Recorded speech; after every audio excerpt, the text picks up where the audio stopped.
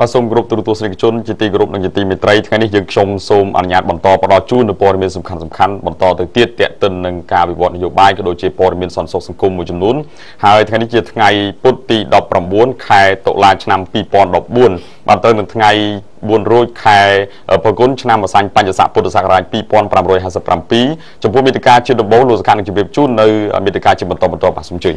ទូរទស្សនិកជនជាទីមេត្រីថ្ងៃនេះមិនមាននិយាយអំពីបញ្ហានយោបាយទេប៉ុន្តែនិយាយអំពីបញ្ហាសង្គមទីមួយយើងនិយាយអំពីរឿងបញ្ហាគ្រឿងញៀននិងស៊ីសាគឺថាអាញាធរគ្រឿងញៀនបានអាងកាលពីម្សិលមិញថា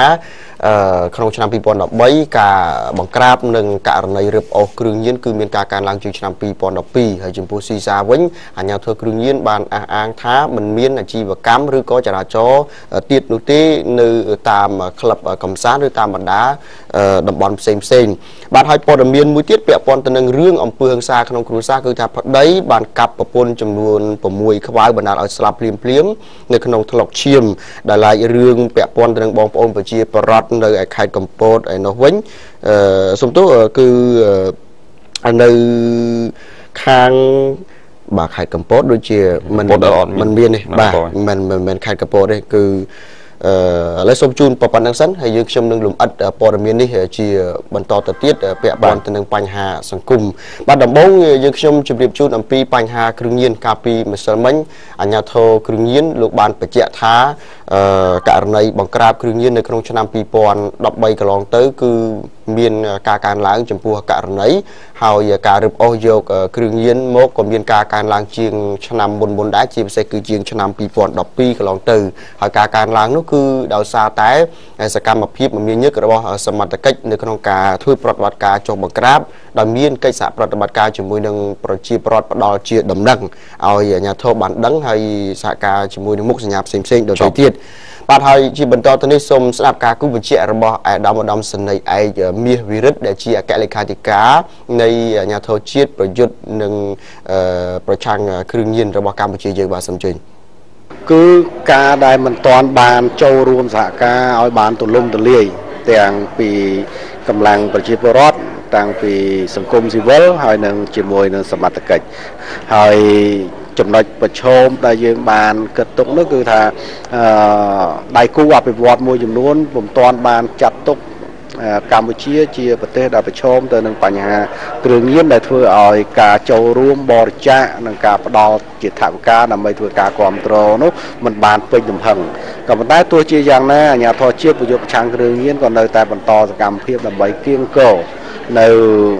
ថវិកាទាំងប្រភពធនធានទាំងថវិកាជាតិនិងថវិកាអន្តរជាតិដើម្បីរួមចំណែកក្នុងការអនុវត្តនៅយន្តការប្រយុទ្ធឆាំងគ្រឿងញៀននៅកម្ពុជាឲ្យទទួលបានប្រសិទ្ធ បាទនេះគឺជាឧបសគ្គមួយចំនួននៅក្នុងប្រតិបត្តិការប្រឆាំងនឹងគ្រឿងញៀនដែលអាដាមបានលើកឡើងហើយចំពោះស៊ីសាវិញអាដាមបានបញ្ជាក់ប្រាប់ថារហូតដល់ពេលនេះគឺគ្មានសកម្មភាពស៊ីសាទៀតនោះទេដោយមានកិច្ចសហប្រតិបត្តិការជាមួយនឹងបងប្អូនប្រជាពលរដ្ឋជាពិសេសគឺអាជីវករដែលធ្វើអាជីវកម្មពាក់ព័ន្ធទៅនឹងបញ្ហាទាំងអស់នេះហើយបើតាមអាដាមមីវរិទ្ធគឺបញ្ជាក់ថាអាញាធរនៅពេលដែលធ្វើប្រតិបត្តិការអំពីរឿងស៊ីសាគឺគ្មានឧបសគ្គណាមួយកើតឡើងនោះទេបាទអញ្ចឹងសូមស្ដាប់ការបញ្ជាក់បន្តរបស់អាដាមមីវរិទ្ធបាទសូមជើញមកដល់បច្ចុប្បន្ននេះគឺថាសកម្មភាពនេះមិនមានកើតឡើងទៀតទេ គឺសមត្ថកិច្ចទាំងអស់ជាពិសេសខេត្តគោលដៅដូចជារាជធានីខេត្តរាជធានីគោលដៅដូចជារាជធានីភ្នំពេញទាំង5ខណ្ឌគឺបានខិតខំយកចិត្តទុកដាក់ធ្វើការអប់រំអឺកន្លែងដែលផ្ដល់សេវាកម្ម ប្រើប្រាស់ស៊ីសាកន្លែងដែលធ្វើអាជីវកម្មស៊ីសាហើយជាមួយគ្នានោះក៏មានការចូលរួមពីប្រជាពលរដ្ឋនិយាយជារួមក្រោយពីយើងបានធ្វើការបូកសរុបលទ្ធផលការងារក្នុងការអនុវត្តសេចក្តីណែនាំរបស់អាជ្ញាធរជាតិប្រយុទ្ធឆាំងគ្រឿងញៀនដើម្បីធ្វើការត្រួតពិនិត្យបញ្ហាស៊ីសានេះ គឺថាលទ្ធផលយើងទទួលបានលទ្ធផលល្អប្រសើរហើយប្រជាពលរដ្ឋមានការចូលរួម ជាពិសេសអាជីវករនិងទីតាំងដែលផ្ដល់សេវាកម្មផ្នែកស៊ីសានេះហើយជាមួយគ្នានោះក៏សមត្ថកិច្ចក៏បង្ហាញថាมันមានឧបសគ្គអ្វីក្នុងការបាទ ទូរទស្សនិកជនជាទីគោរពរាប់អានពាក់ព័ន្ធទៅនឹងបញ្ហាគ្រឿងញៀនក្តីពាក់ព័ន្ធទៅនឹងបញ្ហាស៊ីសាក្តីអាជ្ញាធរបានអំពាវនាវឲ្យបណ្ដាសាធារណជនទាំងអស់ចូលរួមដើម្បីផ្ដល់ជាដំណឹងហើយសហប្រតិបត្តិការជាមួយនឹងសមត្ថកិច្ចនានាដើម្បីប្រយុទ្ធប្រឆាំងនឹងបង្ក្រាបហើយអាជ្ញាធរបានបញ្ជាក់ថាបើទោះបីជាអ្នកជួញដូរគ្រឿងញៀនឬក៏អាជីវកម្មស៊ីសានោះមានខ្នងប៉ុណ្ណាក៏ដោយក៏ត្រូវតែអនុវត្តទៅតាមផ្លូវច្បាប់ផងដែរហើយជាពិសេសគឺមានការចង្អុលបង្ហាញពីសម្ដេចនាយករដ្ឋមន្ត្រីប្រមុខរាជរដ្ឋាភិបាលកម្ពុជាបាទអរគុណខ្ញុំបាទសូមអនុញ្ញាតជូនរឿងនេះត្រឹមនឹងសិនចុះហើយបកគលភារកិច្ចទៅលោកបត្រាពាក់ព័ន្ធទៅនឹងករណីរឿងជញ្ជីងចល័តថ្លឹងរថយន្តដឹកលើសទំនិញវិញម្ដងបាទបាទរឿងបន្តនេះគឺនៅក្នុងខេត្តកណ្ដាលតាក់ទងទៅនឹងក្រមមន្ត្រីជញ្ជីងចល័តបានចាប់ផ្ដើមរឹតបន្តឹងការធ្វើចរាចរណ៍របស់ខ្លួនក៏ដូចជាការចរាចរណ៍បន្តបន្តរបស់ប្រជាពលរដ្ឋដែលមានការដឹកជញ្ជូនលើសកំណត់ជាពិសេសនោះគឺការដឹកថ្មដឹកសាច់ខុសបច្ចេកទេសក៏ដូចជាការលើសទម្ងន់ទៅលើកំណត់ផ្លូវជាតិលេខ5បាច់ច្រងចំណុចក្បែរផ្សារឧដុង្គដោយយកមកផាកពិន័យនិងឲ្យធ្វើកិច្ចសន្យាឲ្យបានត្រឹមត្រូវទៅតាមផ្លូវច្បាប់អឺបើតាមការថ្លែងឲ្យដឹងពីលោកស៊ិនសរុនដែលជាមន្ត្រីក៏ដូចជាមន្ត្រីបច្ចេកទេសជញ្ជីងនៃក្រសួងសាធារណការបាទនឹងដឹកជញ្ជូនបានអឺ បង្ហើបប្រាប់ថាកន្លងមកក៏ដូចជាបច្ចុប្បន្ននេះក្រុមការងាររបស់លោកបានដាក់វេនគ្នាទាំងយប់ទាំងថ្ងៃបានដើម្បីត្រួតពិនិត្យយានយន្តគ្រប់ប្រភេទដែលធ្វើដំណើរឆ្លងកាត់តាមបណ្ដាផ្លូវជាតិមួយចំនួនក្នុងទឹកដីខេត្តកណ្ដាលនឹងហើយថាតើយានយន្តទាំងនោះដឹកបានត្រឹមត្រូវឬក៏ស្របទៅតាមស្តង់ដារដែលខាងក្រសួងចេញឲ្យឬក៏យ៉ាងណាឬក៏មានការដឹកជញ្ជូនខុសបច្ចេកទេសដើម្បីធ្វើការអប់រំបន្តបន្តទៀតនិងផាកពិនិត្យទៅតាមផ្លូវច្បាប់ដែលបានកំណត់របស់ក្រសួង លោកបន្តថាគ្រប់យានយន្តដែលធ្វើអាជីវកម្មទាំងអស់នេះគឺពេលធ្វើដំណើរឆ្លងកាត់កន្លែង ជញ្ជីងថ្លឹងរថយន្តគឺត្រូវតែចុះរាយការណ៍និងបង្ហាញនៅលិខិតស្នាមរបស់ពួកគេដើម្បីបញ្ជាក់ថាយានយន្តកំពុងចរាចរណ៍នោះគឺត្រឹមត្រូវទៅតាមលក្ខណៈច្បាប់និងស្តង់ដារដែលបានកំណត់មកហើយក្រុមអ្នកបើកបរមួយចំនួនលោកបានលើកឡើងដែរថាបើសិនជាដឹកតិចឬក៏ដឹកច្រើនវាអាស្រ័យទៅលើទី1គឺប្រើទៅប្រើពេលវេលាយូរក្នុងការដឹកជញ្ជូននឹងបានជាលោកត្រូវការដឹកខ្ពស់ឬក៏ដឹកច្រើនបន្តបន្តទៀតហើយទី2គឺត្រូវការចំណាយថវិកាច្រើនក្នុងការដឹកជាបន្តបន្តពីព្រោះថាយើងដឹកមួយជើងពីរជើងវាមិនសមមិនមិនសមាមាត្រទៅនឹងការដឹកជញ្ជូនម្ដងនោះឡើយអញ្ចឹងមានតែការដឹកជញ្ជូនម្ដងទេដែលអាចវាបន្តឲ្យលើសទម្ងន់ឬក៏អាចប៉ះពាល់ទៅដល់អ្នករទេនេះហើយក៏អាចរួចនឹងការថ្លៃសាំងដឹកជញ្ជូនពីកន្លែងមួយទៅកន្លែងមួយផងដែរនេះគឺជាការលើកឡើងរបស់បងប្អូនប្រជាពលរដ្ឋក៏ដូចជាម្ចាស់យានយន្តគ្រប់ប្រភេទដែលមួយចំនួនបានដឹកលើទម្ងន់ហើយក៏បានលើកឡើងបែបនេះហើយគូបញ្ជាក់ថាតាមបណ្ដាផ្លូវជាតិបាទក្នុងខេត្តកណ្ដាល ក្រៅពីក្រមមន្ត្រីជញ្ជីងចល័តបាទត្រួតពិនិត្យនោះគឺយានយន្តទាំងនេះក៏មានស្ថានីយ៍ថ្លឹងរថយន្តជាច្រើនកន្លែងទៀតដែរដូចជានៅលើកំណត់ផ្លូវជាតិលេខ4បាទផ្លូវជាតិលេខ4ទៅក្រុងកំពង់សោមខេត្តសីហនុផ្លូវជាតិលេខ1មកកាន់ខេត្តស្វាយរៀងនិងផ្លូវជាតិលេខ6ជាដើមទៅកាន់ខេត្តសៀមរាបក៏មានការដាក់រៀបចំថ្លឹងជញ្ជីរថយន្តដើម្បីត្រួតពិនិត្យមើលការរៀបចំលក្ខណៈបច្ចេកទេសរួចជាស្របទៅតាមស្តង់ដារឬមួយយ៉ាងណាបាទ បទរឿងមួយទៀតពាក់ព័ន្ធទៅនឹងហិង្សានៅក្នុងគ្រួសារគឺប្តីបានកាប់ប្រពន្ធ6ខ្វៅម្ដងឲ្យស្លាប់ភ្លាមភ្លាមនៅធ្លុកឈាមសុំជើងបាទរឿងនេះគឺភ្នាក់ងាររបស់យើងលោកបានរាយការណ៍មកថាប្តីប្រពន្ធមកគូបាននៅក្នុងខេត្តកំពង់ចាមបានឆ្លោះទាស់ទែងគ្នាដោយសារតែរឿងប្តីទៅញ៉ាំស្រាអត់ប្រហែលជា2កំប៉ុងមកវិញក៏មានការបតៃបតបគ្នាដោយសារតែប្រពន្ធបានស្ដីបន្ទោសឲ្យហើយជនដល់ដល់ជាប្តីនោះគឺត្រូវបានសមត្ថកិច្ចខេត្តកំពង់ចាមលោកបានចាប់ខ្លួនទៅហើយបន្ទាប់ពីបាន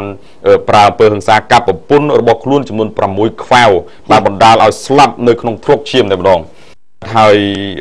រឿងនេះគឺកើតឡើងនៅផ្ទះកើតហេតុស្ថិតនៅក្នុងភូមិចុងខ្ញូងឃុំមហាខ្ញូងស្រុកកោះសុទិនខេត្តកំពង់ចាមបាទលោកប៉ានផលដែលជាឪពុកកបង្កើតរបស់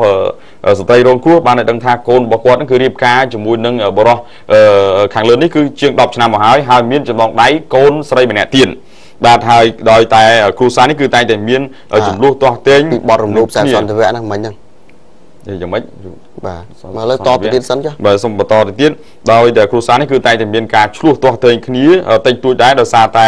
ប្តីចេះតែដើរផឹកស៊ី បាទដែលទើបប្រពន្ធចេះតែស្ដីបន្ទោសកុំឲ្យផឹកហើយក៏ពិសេសទៅទៀតនោះគឺកុំភាសាតែងតែប្រច័នប្រពន្ធបាទទៅវិញទៅមកអញ្ចឹងឥឡូវបើសិនជារូបភាពវាជាយ៉ាងម៉េចវារអាក់សកម្មវាសូមអនុញ្ញាតបញ្ចប់តែប៉ុណ្្នឹងហើយក៏យើងអាចបន្តទៅទៀតបាទមិនទេ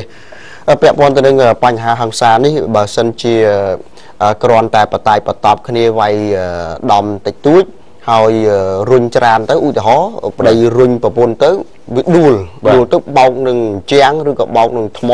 ក្បាល ក៏បណ្ដាលឲ្យស្លាប់អាហ្នឹងវាអចេតនាបាទវាគឺជារឿងអំពើហិង្សាក្នុងគ្រួសារដែលបណ្ដាលឲ្យជនរងគ្រោះស្លាប់ដោយគ្មានចេតនាសម្លាប់បាទអាហ្នឹងគេអាចផ្ដន្ទាទោសពីអឺ7ឆ្នាំដល់15ឆ្នាំដែលមានចែងនៅក្នុងមាត្រា224ក៏ប៉ុន្តែ អឺការកាប់យើងដឹងហើយណាខ្វៅបើកាប់មកខ្វៅវាអត់អីទេបាទមកខ្វៅមកខ្វៅទៀតមកខ្វៅខ្វៅទៀតអាហ្នឹងមានចេតនាហើយអឺ6 4 4ខ្វៅកាប់ទៅ6លើខ្វៅបាទ4ខ្វៅហ្នឹងកាប់ទៅលើដងខ្លួនហើយ2ខ្វៅទៀតកាប់ដៃហ្មងអញ្ចឹងអូស្លាប់នៅបាទឯកាត់ហេតុអានឹងប្រហែលជាអនុវត្តមាត្រា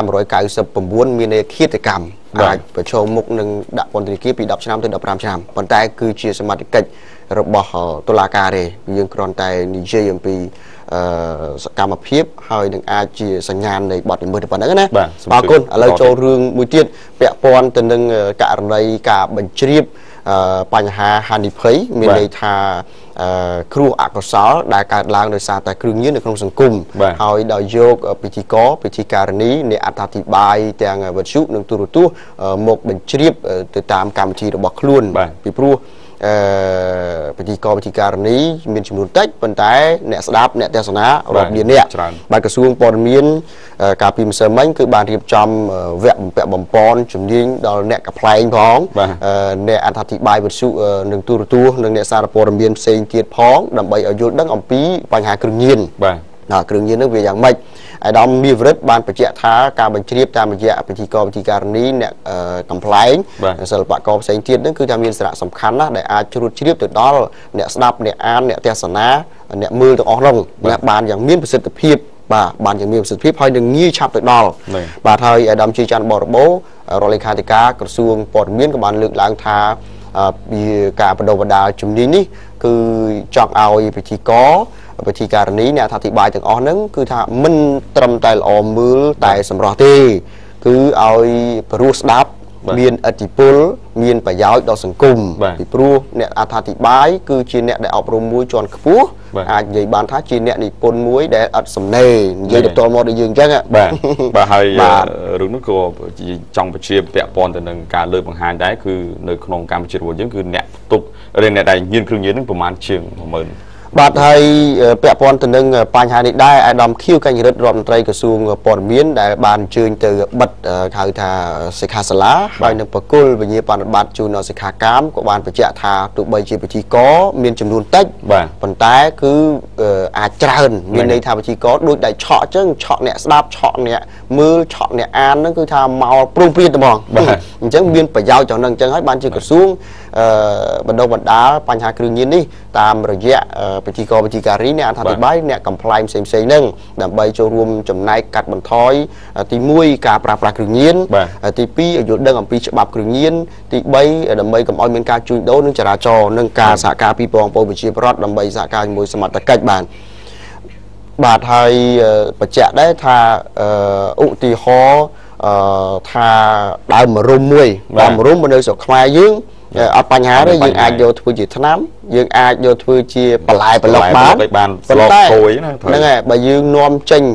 សន្ធឹកសន្ធាប់ទៅស្រុកថៃបាទថៃនឹងចាប់ពីព្រោះថៃគេចាត់ទុកថាអាហ្នឹងគឺជាសារធាតុមួយសម្រាប់អឺវត្ថុមួយសម្រាប់យកទៅផលិតជាគ្រឿងញៀនបាទហ្នឹងត្រូវគេចាប់បដ ாய் ប៉ុន្តែនិយាយអញ្ចឹងមិនមែនមានអ្នកបងប្អូនកាប់នឹងចោលណាបាទប៉ុន្តែកុំនាំចូលទៅស្រុកគេបាទវាអាចអរគុណជាប់អញ្ចឹងសូមអនុញ្ញាតអឺស្ដាប់ប្រសាសន៍អឺបច្ចៈខ្លីរបស់អាដាមខៀវកញ្ញរិទ្ធកាលពីម្សិលមិញបន្តិចបាទ ពីព្រោះទីកបទីករណីគាត់ចេះផ្ទះទៅពលច្រើនណាពីព្រោះអ្នកដែលស្ដាប់មានច្រើនគាត់ម្នាក់ពីរនាក់មែនប៉ុន្តែគាត់ដូចជាដៃឆក់មួយដែលមានមនុស្សច្រើនអញ្ចឹងគឺដែលគាត់យើងនាំគ្នានិយាយបន្តិចម្នាក់បន្តិចម្នាក់នៅធ្វើឲ្យយុវជនរបស់យើងហ្នឹងគឺបានជៀសឆ្ងាយអំពីគ្រឿងញៀន បាទបាទទូរស័ព្ទជនជាទីមេត្រីដោយលោកបុត្រាបានបញ្ជាក់មិញមិញបាទមានអ្នកយានឆ្នាំប្រហែលមិញ13000នាក់ជាង13000អ្នកជាងបាទហើយតាមការបញ្ជាក់ពីអាជ្ញាធរជាតិប្រយុទ្ធនឹងអឺជំងឺអឺប្រយុទ្ធនឹងប្រឆាំងនឹងគ្រឿងញៀននេះបានបញ្ជាក់ថាកម្ពុជាយើងគឺជាប្រទេសដែលស្ថិតនៅក្នុងលំដាប់អឺទី3ក្នុងការប្រើប្រាស់គ្រឿងញៀនអឺតិចជាងគេបាទអឺក្នុងតំបន់អាស៊ានណាណាបន្ទាប់ពីប្រទេសសិង្ហបុរី និងប្រុយណេដែលមានអ្នកប្រើប្រាស់គ្រឿងញៀនប្រមាណជា23000 អ្នកជាងបាទហើយភាគច្រើនគឺជាយុវជនដែលមានអាយុចាប់ពី18ឆ្នាំដល់25ឆ្នាំបាទប៉ុន្តែរឿងដែលសំខាន់ដោយការបញ្ជាក់របស់អាយដាមមាសវិរិទ្ធពីខាងដើម បាញ់មិញហ្នឹងថាសហគមន៍អន្តរជាតិមួយចំនួនហ្នឹងនៅមិនទាន់ដាក់ប្រទេសកម្ពុជាយើងជាប្រទេសដែលប្រឈមមុខនឹងគ្រឿងញៀនបើពេលអញ្ចឹងទៅយើងខ្វះខាតគេហៅថាសម្ភារៈធនធានយកមកប្រតិបត្តិការដើម្បីបង្ក្រាបណាបាទអរគុណច្រើនហើយអញ្ចឹងសូមអនុញ្ញាតប៉ុណ្ណឹងលោកបត្រាបាទអរគុណទ្រទស្សនិកជនជាទីគោរពនិងជាទីមេត្រីនេះពេលនេះខ្ញុំសូមអនុញ្ញាតសម្រាប់បន្តិចសិនវគ្គក្រោយនឹងផ្ដល់ជូននូវព័ត៌មានបន្តបន្តទៅទៀតបាទ